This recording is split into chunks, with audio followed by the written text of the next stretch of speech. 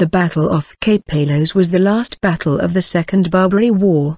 The battle began when an American squadron under Stephen Decatur attacked and captured an Algerine brig. After capturing the Algerine flagship Meshuda and sending her to Cartagena under the escort of USS Macedonian, Stephen Decatur and his squadron continued on their way towards Algiers. On June 19, 1815 the Estedio, a 22-gun Algerine brig, was sighted. Battle. Decatur began pursuit of the Algerines and chased them into shoal waters near the coast of Spain off Cape Palos. Fearing that his larger vessels might get beached he sent the smaller vessels in his squadron the USS Epervier, USS Spark, USS Torch, and USS Spitfire to deal with the brig. Here the vessels fought a short engagement lasting a half an hour before the Algerines began to abandon their vessel and surrender. As the Estedio crew members began to fleet towards the Cape in the ship's open boats, the American vessels began firing upon the boats and sank one.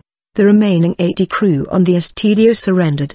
Besides the 80 captured the Estedio lost at least 23 men killed. Aftermath after the battle the Estedio was taken to Cartagena and interned, being returned to Algiers at the end of the war. Decatur's squadron regrouped and continued on its way to Algiers to force the data terms.